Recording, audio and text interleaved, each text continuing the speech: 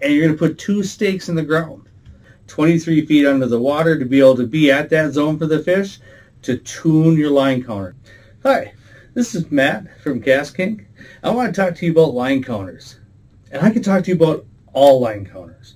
And what I mean by that is, is that when you get a line counter, it's been calibrated by that company for a specific line type, a specific diameter, so that when you're letting out the line, if you're letting out 100 feet, you got 100 feet. And that's no different with the KastKing ReKon line counter. However, in the fishing industry, that's just not reality. The reality isn't that we're going to use a specific line type always with a specific diameter. So it's very important for those of you that need to have that bait out, let's say 100 feet to get it down exactly 23 feet under the water to be able to be at that zone for the fish to tune your line counter. I don't care what brand you have, you have to tune your line counters. So how do we do that? Well, it's in the middle of winter here, so I'm going to show it up this way. As an example, types and diameters. You're looking at KastKing. It's a new fluorocarbon. That's definitely going to have a different diameter than their braid line or even their mono. So it's important, once again, that we tune these line counters so that we know when we're letting out 100 feet, 120 feet, whatever we need to let out, that it's accurate so that we're putting that bait exactly on the fish. So how do we do it? Well, first of all, you're going to go out and you're going to put two stakes in the ground. And those two stakes in the ground here, you're going to measure with a tape measure, you're going to measure exactly 100 feet. Next thing we're going to do, fill up that spool. Fill it up. If you can, don't cut off the, the filler spool from it.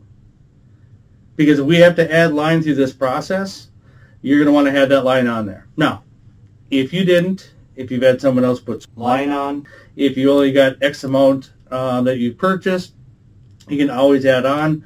Um, if you're out there fishing and the fish snaps off that line, uh, once again, you're going to have to add on. So we'll do a simple uni knot. We'll add on to it, not a big problem, but we're going to have to tune it again. So we've got our line on. We've got our spool with the extra line still not cut off, right? So we keep that off to the side. Then we bring the tip of our rod to our first stake that's in the ground, right? When it's there, we're going to zero out our line counter. We're going to walk the pole back to our first 100 foot stake. Here's where it gets kind of tricky. Not that it's so tricky, it's just sometimes it's it seems to me when I first heard it, it was like a little backwards, right? But it works. It does work. If your line counter, when you get back here, is showing anything under 100 feet, anything under 100 feet. In the example here, I believe I got it at 90 feet. We have to take line off the line counter. I know, it sees backwards. Anything, when we come back here, anything under 100, we have to take line off the spool, right? So we're going to have to take line off the spool. If we zero out here, we bring it back to our first post, and it's anything over 100, now we have to add line to the spool. So over 100 add, under 100 take off. Which is, believe me, if you've already, if you still have that spool on there, uh, if you ha- if you turn out to where it's over 100 and you have to add to it, you'll be glad you did. One less knot in the system. Um, but there you have it. And no matter what brand you have, tune your line counters for every new line that you put on.